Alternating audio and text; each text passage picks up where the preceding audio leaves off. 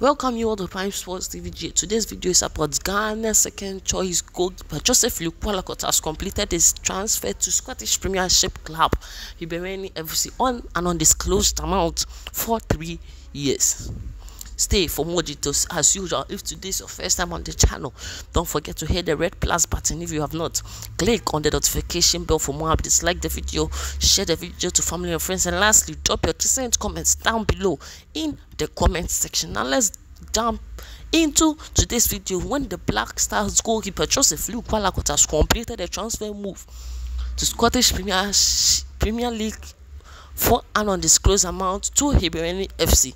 Ghana Prime Sports TV can confirm the goalkeeper joins from English League One side Charlton Athletic after putting pen to paper on a three-year contract. Straight off the back of being an international due to the Black Stars, Jojo has joined with the goalkeeping coach of Hibernian and his teammates to prepare for the upcoming season.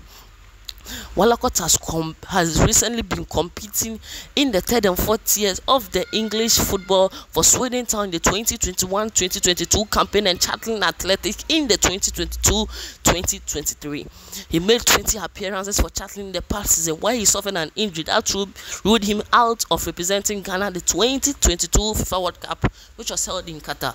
A comment which was stated by the manager of Ibirini, said, "We are delighted to bring Jojo to the club, and I'm looking forward to work to working with him again.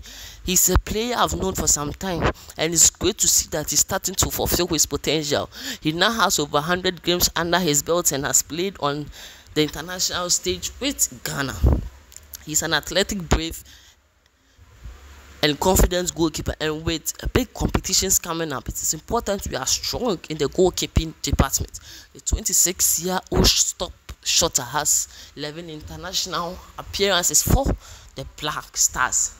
As usual if today is your first time on the channel don't forget to hit the red plus button.